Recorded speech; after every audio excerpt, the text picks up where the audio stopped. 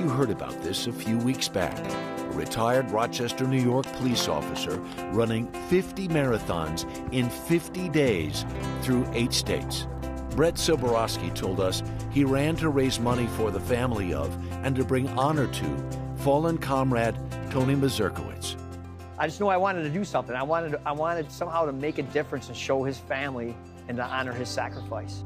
Brett hoped to run into the city with a cohort of 500. Almost a thousand showed up. A touching tribute, no question. A moving moment. But what of the slain officer? What was his story? The consensus is he was a little crazy for dating because he's younger than I am. And he was 24. Well, he must have been a force he could not resist. Lynn had two kids when she and Tony married. Then they had two more. How proud were you to be married to a police officer? I was proud to be married to him. It didn't matter what he did. Mm. He was amazing. Described by all as a super dad, Maz, as everyone called him, cared for his grandkids every Tuesday. He had Papa Tuesdays.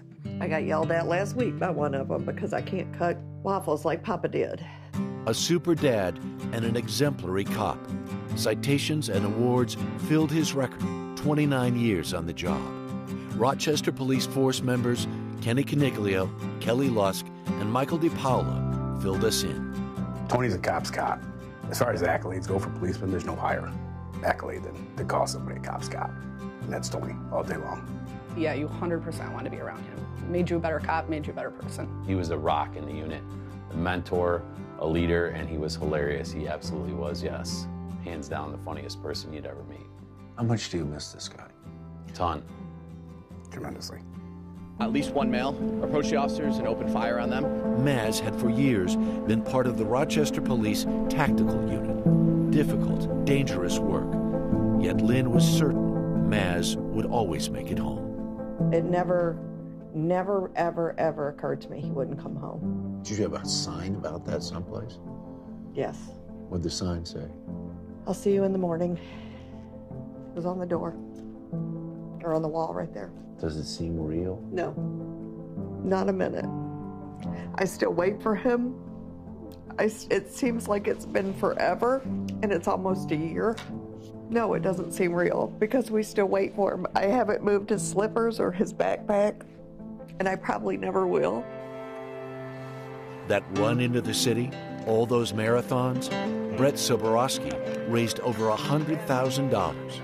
He's the kindest man, genuinely, mm-hmm. but he's crazy.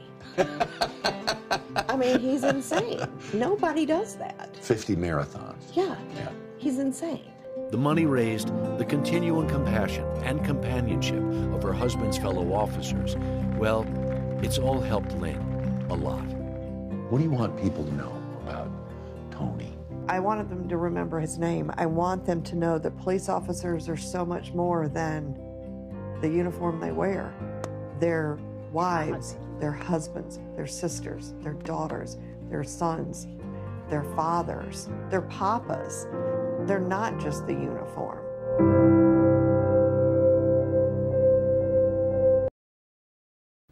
Again, that was NBC's Harry Smith.